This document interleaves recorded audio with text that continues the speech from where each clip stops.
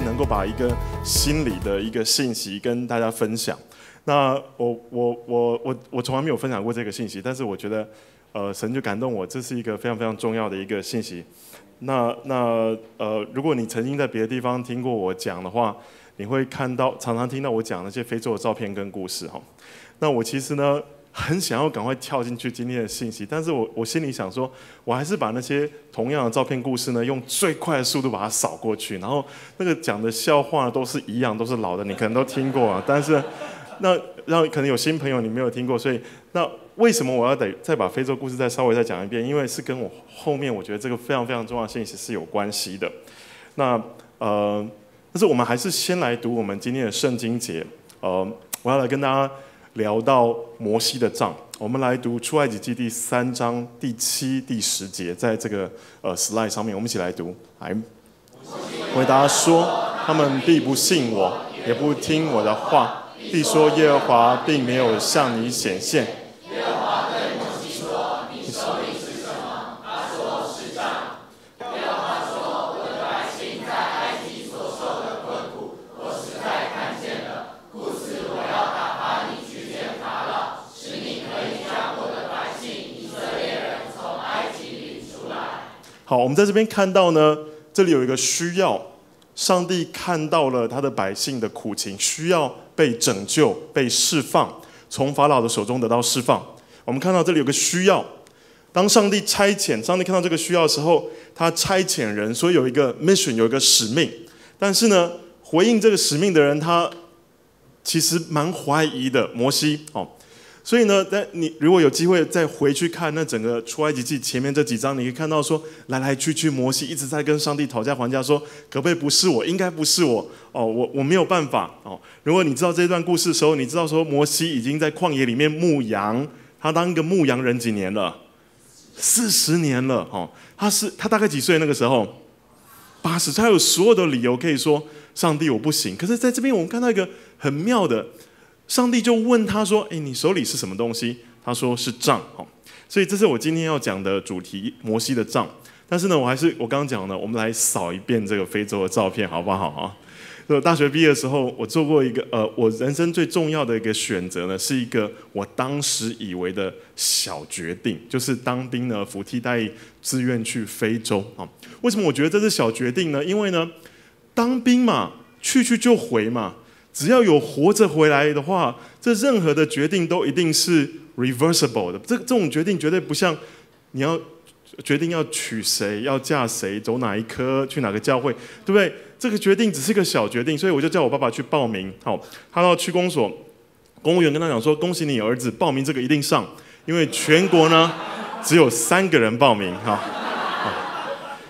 下了飞机，哇，这个满地都是这个垃圾，远看呢以为是乌鸦卡在树上，发现说这是这些塑胶袋。好，那我们教会呢就有些人捐了衣服，我想你可能听过，所以呢就叫小朋友去捡垃圾，然后就换旧衣。后来呢，呃，就各式各样的衣服就涌入，是告诉大家说以后不要捐这么热的衣服哈。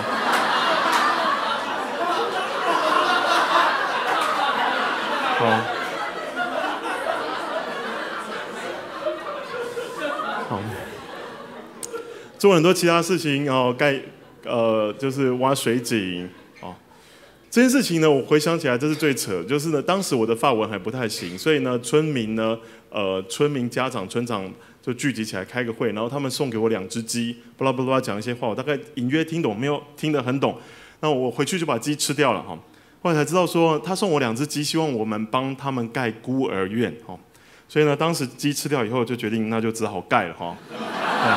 然后那天还有穿了衣服叫做 Just Do It，所以我们就来 Do It 哈。所以呃，这个孤儿院就后来呃，现在已经营运十四年了，我们收了一百个孩子。那第一届毕业生有人已经是大学呃，已经在念大学了。好，那这个事情发展到后面已经超过我的控制了。我写一本书描述这故事，后来公共电视就打电话来说，他们要把书拍成连续剧。所以呢，他们编了三千万台币，找了四呃二十个剧组人员。呃，找了王小弟导演，就飞去那边拍了四个月哦。在当地呢，因为太太过落后，所以呢，他们找不到接受过正式训练的演员。所以在故事里面呢，我的当地朋友、警卫、司机、护士、医师、同事呢，都是故事里面的真人哦。意思就是说呢，只有男主角被换掉哈，换了一个叫林佑威的，换成一个比较帅的哦。你看我躲在后面有点落寞的感觉，对。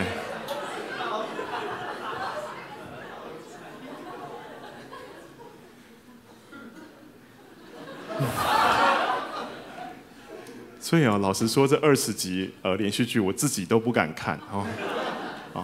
但是我上去演，你知道吗？有一天呢，王小利导演就说：“嘉嘉，你一定要来探班哈。”然后到了现场说：“来，你上去，你要演牧师。”我说：“我干嘛？有？那你剧本在哪里？”他说：“没有关系，随便你乱讲。”好，那我们就到林良堂呢，在在戏剧里面要呃他们在演我跟我太太结婚，因为真实的情况是。我从那边退伍以结束以后，就回来台湾跟我太太结婚，又再去嘛，所以这个连续剧就演到说男女主角要结婚在林良堂，然后我穿上西装呢上台要演我自己的婚礼的牧师啊啊啊，然后剧中那个人叫做连怀恩哈，所以呢他就叫那导演说随便你讲，反正你想到什么你就跟这个连怀恩讲哦，对，那。我我记得我那天就讲了一段，我我猜应该是被剪掉了哈。我就跟那个连怀恩讲说，呃，你现在做些事啊，好像大家都很鼓励你啊，给你很多掌声，得了一些奖章哈。但是呢，我希望你呃，你可以继续跟随耶稣。所以如果有一天你跟随耶稣，但是你得到的东西是相反的哦，不是掌声，是唾弃，是逼迫，是辱骂，我希望你可以继续走下去哦。那。呃，所以应该是被剪掉。OK，好，那后来就连续剧嘛，那就开始有我有写书，然后很奇妙的就是，大概在几年前有两个出版社不约而同的写给我说，他们很喜欢我写过一篇写给我儿子的信，叫做《谁该被派去非洲》，所以呢，他们就把那个文章变成了小学五年级的中国文课本。哈，所以开始很多人啊，校长呢就叫我去演讲。通常他们都做这个介绍，呃，各位同学，你们看，这个就是你们五年级课本那个作者，你们看哦，他还活着哦，啊，然后你参加过周会，你知道通常就会很想睡觉嘛，哈，他说看到一个活着的作者，小朋友就会很兴奋，对，对，对，这是今天早上我在台大毕业典礼，他们叫我当呃演讲来宾，那。呃，我讲了六个 yes，好，最后个 yes 呢，我跟他们分享我的信仰，嘿嘿嘿，真高兴，OK，对，对，感谢主。好，我们回来主题啊，我们扫过了非洲故事，只花了五分钟，感谢主。好，摩西的杖啊，想象一下这个摩西的杖，呃，他是一个牧羊人，他。他在旷野四十年，然后你想象中东那个情境，这个杖对他来说应该代表什么？我觉得他会想到，看到这个杖会想到过去，哦，因为通常那个杖是不会随便换，要选一个最好材质最好的木头嘛，哦，要用一次用四十年，哦，会看到过去，哦，也会想到未来，哦。他会想到说：“哇，因为用这个杖是怎么样？是用来赶羊群的，让他们回家，赶他们出来。然后如果乱跑的话，甚至可以这个杖有个呃有个 J 型的，可以可以把羊呢，如果被困在荆棘，可以把它救出来。所以大家看这个杖呢，他会想到未来计划。哇，今年呢，我的这些小羊要在繁殖，要在交配，我的羊就会越来越多。我的未来哦，想到这个杖，你还会想到什么？”我会想到伤痛的事情哦，因为他可能曾经要用这个杖呢，去去打这个狮子或熊要来偷吃这个羊的这些呃入侵者，他可能身上有伤痕，这个杖上面也会有伤痕的哦。还有什么伤痛是他可以从这个杖想到哦？记得摩西他是在法老的家，法老女儿在皇室长大的。他看过权杖，他看过权力，上面是镶着金子、银子、钻石的。但他现在，他坐在那边牧羊，他看到的是这个脏脏旧旧的去这这也是一个账。他想到是一些伤心的、伤痛的往事，当然也有光荣的事情。好，这整个四十年来，他用这个账做的事情，他想到这个账也许也代表他的权力身份，在中东这个地方呢，呃，权杖就是代表你的身份。但这个时候呢，摩西他的身份，他的 identity 就是一个牧羊人。这个账对他来说，也代表他所拥有的一切的财产。所以你开始想，奇怪，上帝叫他去执行命令，那里有个需要，有一个使命，有一个 mission。然后呢，摩西吵来吵去不想去，最后上帝说：“那你手上是什么东西？”意思说，摩西手上就是有他的过去、他的计划、他的伤痛、他的光荣事、他的身份认证、他所拥有的一切。我们一起来念这个圣经节来。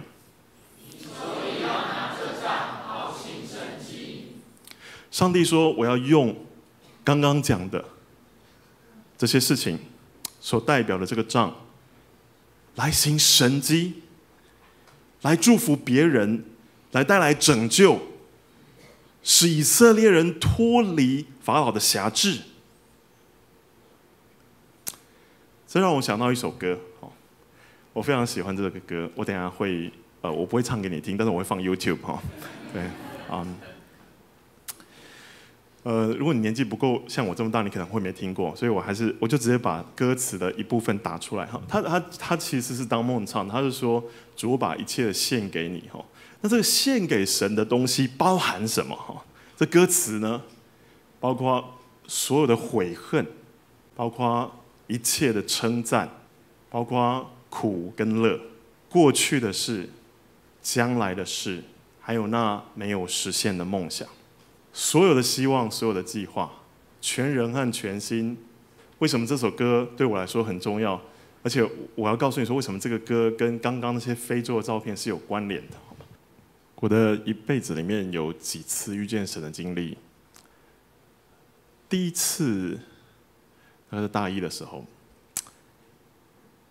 那时候万国敬拜赞美学校，他们的呃定期聚会都是在民生东路的圆环的活动中心。我骑着机车呢，从石牌赶去那边参加。有一天呢，我的机车靠近这个活动中心的时候，我就感觉哇，这里气氛怪怪的，好感动哦。上到楼楼上呢，才发现没有人啊。哦，那个 P.A. 的童工，因为我太早到了，所以童工他们还在装音响。哦但是那时候我已经感觉到那天的气氛非常非常不一样哦。那你知道那个时代呢？呃，我们唱敬拜赞美的破冰的歌，跟你们现在唱的都不一样哦。那时候我们大概都会先唱快歌，可是都是你们没听过。我记得呢，第一首歌叫做《让我们来庆贺》，有听过吗？哦，真的，哇，那我们的 feel 比较接近，很好。对，第一首歌唱上去的时候，我就哭到爆，你知道。呃，姐妹被神感动的时候是流眼泪的，但是弟兄如果一旦被神感动，有的时候是很不卫生的。为什么？因为会鼻涕、眼泪、口水一起啪，而且很吵，好像那个就是真的是在嚎啕大哭。你知道人家在敬拜，他们刚进来哈，所以非常非常的奇怪，为什么这个人在大哭？所以老实告诉你，我不知道为什么在大哭哈。哦，那是一次哈。第二次呢，是在我。大六大七，我在当实习医师的时候，又 又来到这个聚会。那时候我带一个新朋友，我的我的大学同学哦。那那一天呢，就唱了这首歌。呃，这唱唱也是很有人徐老师，他唱这个歌呢，我又开始我我又我又遇见神，然后又开始大哭啊。那可是这一次我知道我在哭什么哦。这一次我我感觉到。这个歌词里面想讲的，就是我心里想跟上帝讲的，而且在那个瞬间，我在上帝同在里面，我真的觉得自己的生命是一个很残破的生命，我真的觉得自己是一个很不配、很糟糕，我有很多过去的悔恨，有很多的痛苦哦，有就像我们刚刚讲那个摩西的杖，有一些伤痕。好，那我这样的一个人，还真的可以服侍上帝吗？哦，如果可以的话，真的很乐意的把它全部给献给上帝。上帝，求你来使用我。所以这第二次爆哭呢，我其实知道自己在哭什么。但又一次，因为还是很恶心哈，所以呢，我的同学呢，他一直在想说，是不是要急救了，还是怎样？因为他是第一次来教会活动，就看到哇，这个是怎么回事？真的要不要叫警察？还是现在有那个救护车是专门是精神疾患的那种啊？那你知道我跟我太太交往八年，但是后面四年是我她是护理系，我是医学系，所以她大四毕业，我后来五六七那三年我们是两地呃远距爱情，她在加州，那。后来我在实习医师嘛，所以其实是蛮痛苦的。哦，那时候实习医师的那个人权不太受重重视，所以呃，我常常需要半夜从就是护士就打电话给我们，然后都很凶，赶快过来抽血，然后睡到两点就要从那个宿舍，我们在学在医院还不一定有值班室，从宿舍这样走走，然后在夜阑人静，然后看着星星，然后两点钟，然后有点孤寂，因为女朋友不在，然后呢又被护士虐待，哈，啊，对吧？要去插管啊，要要插尿管啊，哦，半夜病人怎么样？然后我我记得好多次在那个孤寂的两点钟，荣台北荣总的那个中正楼外面那一段小路哦，我在走的时候，这首歌呢就会一直魔音穿的，不是魔音啊，但是就是神音穿脑，它就会一直放，一直放，一直放，一直放，一直放。呃，我觉得有一年的时间哦哦。你可以想象一个歌在你的脑子里一直放，一直放，一直放，一直放，一直放，一直放，哦，差不多一年的时间哈。但是特别是我安静的时候，因为因为如果太吵的，如果在平常在上班是很忙的，但是我一个人的时候，这首歌就会一直放，一直放，一直放，一直放。主，我把我的生命献给你，可以的话，可不可以使用我？这是大七。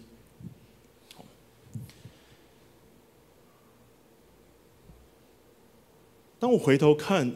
我想，嗯，在那个时候一定有一个圣灵的工作在我的心里面，为了要预备我做一件事情，就是就在那个时候，我决定我要去参加替代役，所以那个决定后来改变了后面这所有的的事情的发生，所以上帝用这首歌跟他的信息，这个歌词，在预备我，预备我做什么呢？我们来读出埃及记第四四章第二十节，来。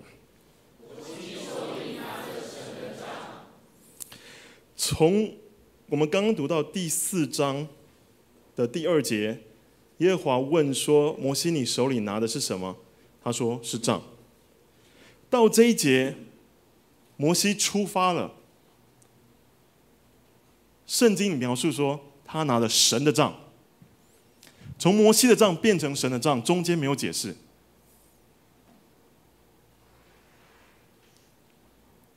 但是我我可以，因为这首歌的经历，我我我大概可以知道那是什么意思。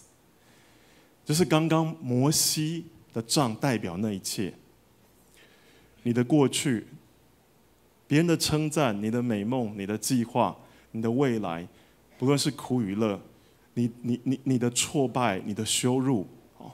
你的一切的一切都可以献给神，都可以交给他来荣耀他的名。当你把这一切交给他的时候，你的账、你的身份认证、你的 identity 就改变了，你的账就变成神的账。所以神就开始使用一切关乎你的事情，你的脚步、你的人生路。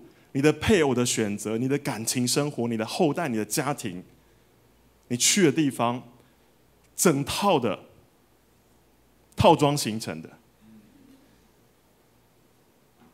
来荣耀神，因为那不再是你的账，那是神的账。所以呢，你看后面所有的神机，通通都是账哦。呃，不同的神机有不同的描述。摩西举杖击打河里的水，摩西杖伸在江河池以上。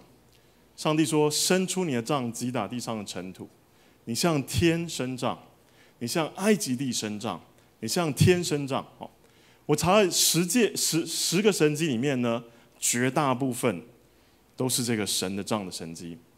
第十六节，呃，第十四章第十六、二十、二十一节，我们一起来读。来。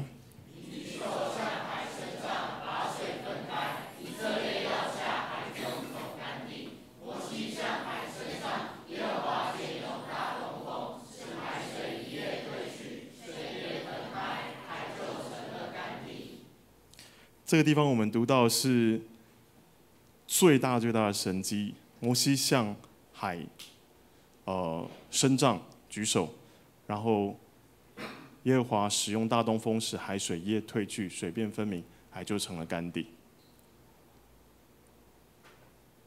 这个诗歌，其实我听张梦他在另外一段影片，就是作词的人，哈，啊，事实上。他又讲的更深。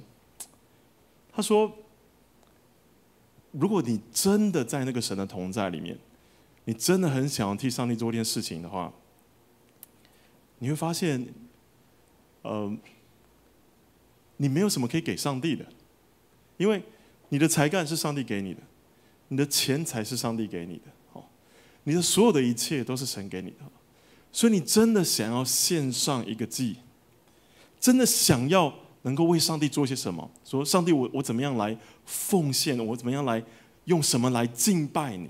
哦，你真正所拥有的东西就是命一条，就是你这个人生，就是你的人生路，跟关乎你人生路的所有的事情。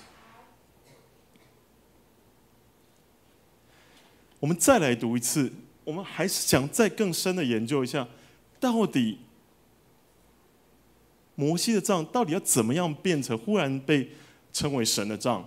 也许我们可以稍微在这边看到一些线索。我们从我们来读第四章第二十节来。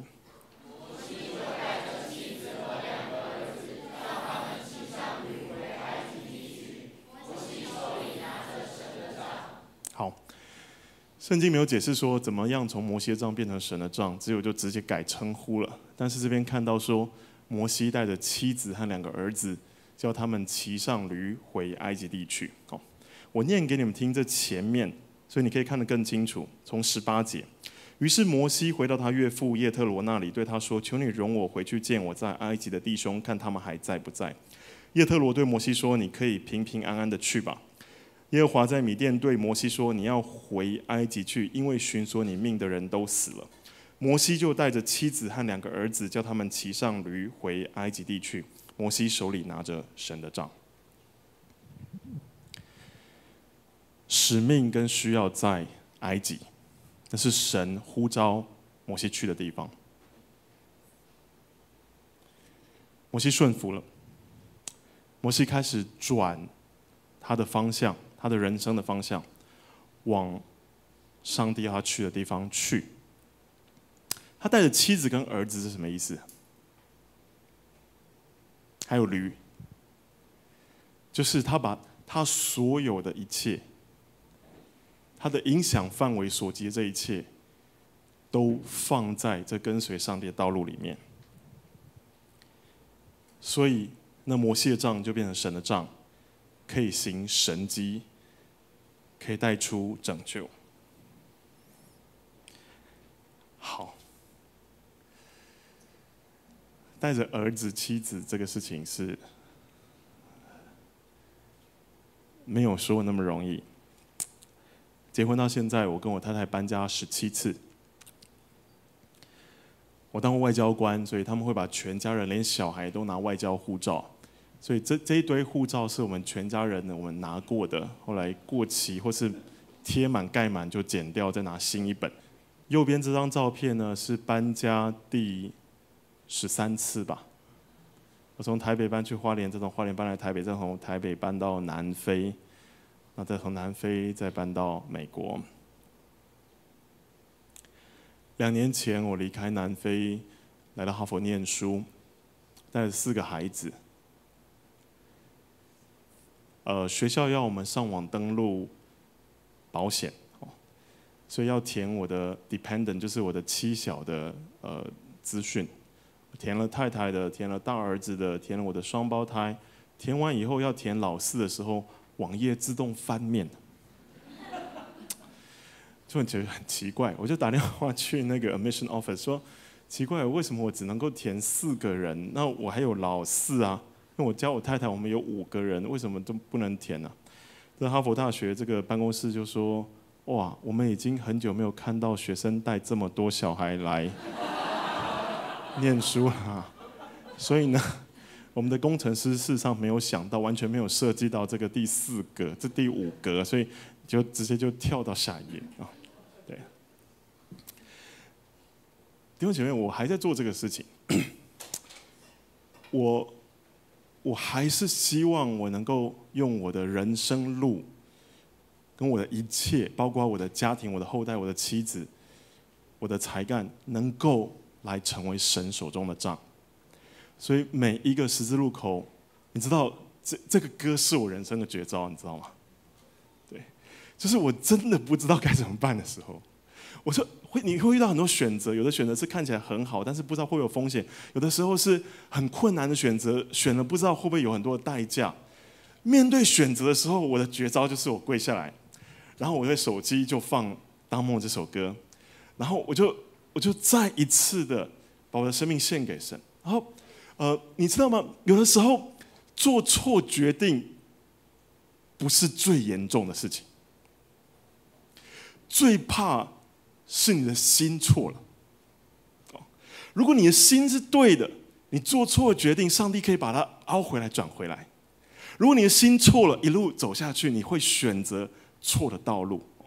所以，当我坐过跪在那边，我跟上帝选说：“上帝，我不知道该怎么办。”你带领我，知道我我现在已经四十二岁、四十三岁了，我还在面临选择，因为上帝给我的人生路不是直线的，不是像传统的医生，就是 R one、R two、R three、R five，然后总医师、主治医师。上帝给我是绕来绕去、绕来绕去，我我还在看说我要怎么样才能够更多的来服侍神，所以我需要面对很多很多的选择。所以当我在选择的时候，我在唱这个歌，然后上帝让我想起那个。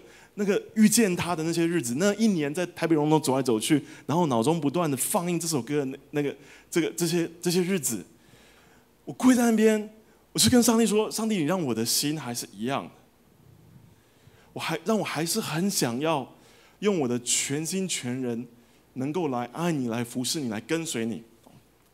然后呢，我从地板上站起来，还是不知道做什么选择。但是就会觉得没关系，会觉得很平安。我说 OK，我的心现在瞧对了，我我的心现在不对，我瞧一下，再把它修正一下。我确定我的过去、我的未来、我的梦想、一切称赞、一切的悔恨、未来的计划、还没有完成的梦想，都在神的手中，不是我的账，是神的账。我确定这个事情就好了。我确定这通通一切都可以给上帝用，都是上帝的就好了，然后就赖皮给上帝，上帝你就负全责哦。所以我站起来还是不知道做什么选择，可是心里很平安，没问题了。我知道上帝会带领我路，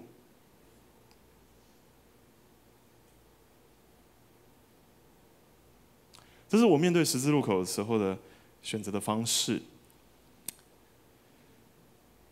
巴不得这块土地呢。有更多神的账，因为我们需要很多很多的神机，什么两千三百万同胞，十三亿的中国人，我们的同胞能够认识神，我们需要很多很多的神机。你愿意把你的账交出来给上帝，变成神的账吗？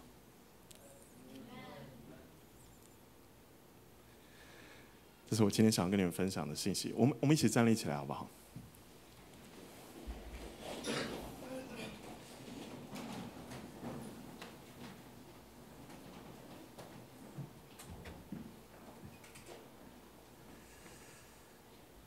我们一起来唱这首诗歌。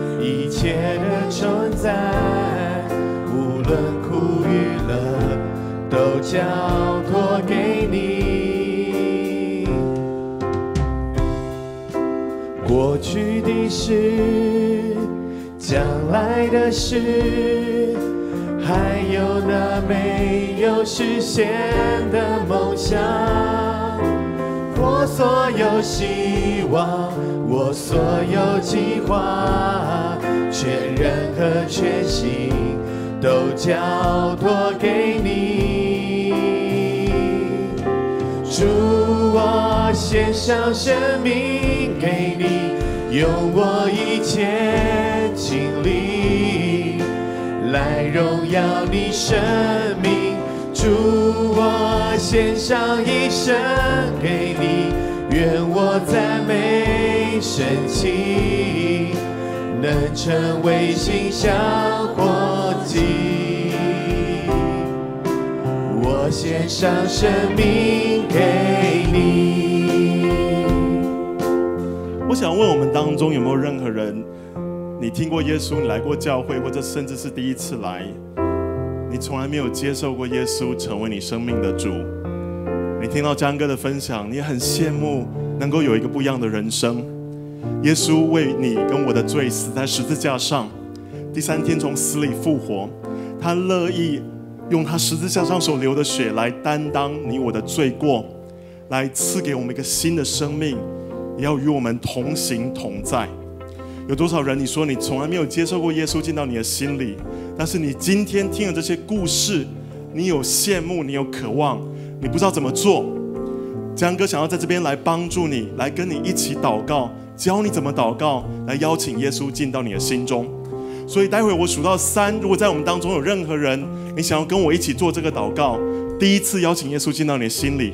当其他人都继续低着头闭眼睛的时候，我邀请这样的人在你的座位上举起你的手，让上帝看见，然后再放下。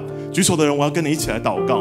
如果你准备好要接受耶稣，我数到三，你就请你举起你的手，一、二、三。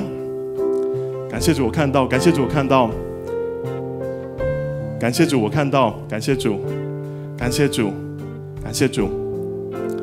举起手来的人，跟我一起来祷告。其他已经接受耶稣的人，我们一同开口来做这个祷告。我们来陪伴这些举手的人，好不好？我们一起来祷告。亲爱的主耶稣，亲爱的主耶稣，我邀请你我邀请你进到我的心中，进到我的心中，赦免我的罪。赦免我的罪。我承认我需要你，我承认我需要我，承认我的生命是残破的，我承认我的生命是残破的，我有缺乏，我有缺乏，因为我不认识你。我不认识你。我希望你进到我的里面，我希望你进到我的里面，赐给我丰盛的生命。赐给我丰盛的生你在，十字架上所流的血，在十字架上所流的血，洗净我的污秽，洗净我的污秽，赐给我复活的盼望，赐给我复活的盼望，帮助我更认识你，帮助我更认识你，帮助我跟随你，帮助我跟随你，帮助我跟你一起帮助我跟你一起来祝福这个世界的人。来祝福这个世界的人。我这样祷告，这样的祷告都是奉耶稣的名，是奉耶稣的名，阿门。阿门。我们拍手将荣耀归给神。